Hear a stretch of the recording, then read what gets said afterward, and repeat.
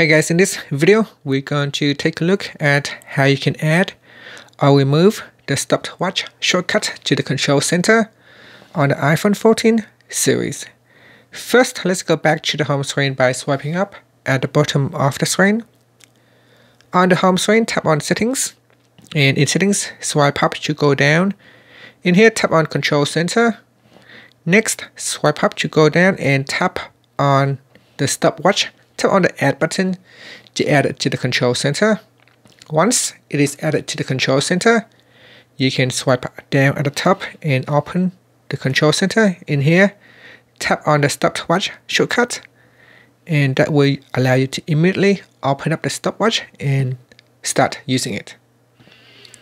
Now if you want to remove it from the control center, we go back into the same settings menu and go to the included controls section and tap on the remove button.